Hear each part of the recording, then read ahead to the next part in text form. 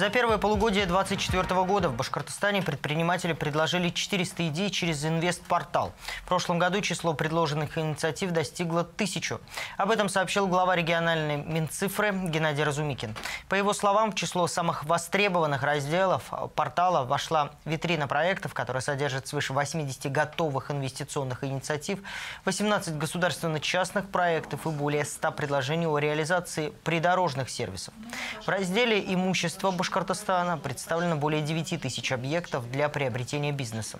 В свою очередь на инвестиционную карту нанесено свыше 10 тысяч объектов инженерной и транспортной инфраструктуры, инвестплощадок и целый ряд предложений.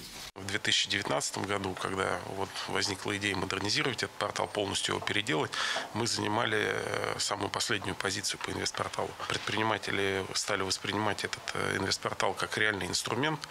То есть они, и мы видим это и по посещаемости, и по количеству заявок, которые они на нем оставляют. Отмечу, инвестиционный портал Башкортостана работает для предпринимателей и инвесторов 5 лет. С момента запуска число пользователей составляет более 100 тысяч человек. На нем работает 24 электронных сервиса.